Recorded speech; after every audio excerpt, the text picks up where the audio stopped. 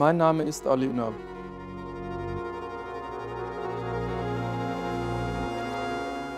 Ich bin 63 Jahre alt und arbeite seit 35 Jahren als Journalist, Buchautor und Übersetzer. Ich habe mehr als 50 Bücher verfasst und übersetzt. Zuletzt war ich Kolumnist der türkischen Tageszeitung Saman.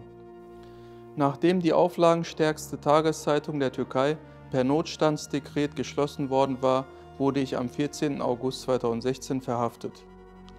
Ich sitze seit mehr als 800 Tagen in Haft, weil ich von meiner Meinungsfreiheit Gebrauch gemacht habe. Die Anschuldigung lautet Gründung einer Terrororganisation und Teilnahme an Bestrebungen, die türkische Verfassungsordnung beseitigen zu wollen.